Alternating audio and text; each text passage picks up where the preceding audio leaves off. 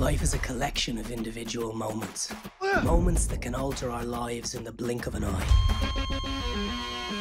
I've placed a one million dollar bounty on the heads of those who killed my boy. You will meet with Don Salvatore Piazza. I will send my best man. One million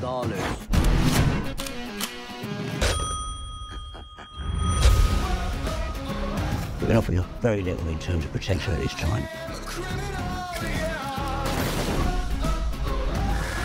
You can run for now, but you can't hide. It's a part of life, son. We're all born to die.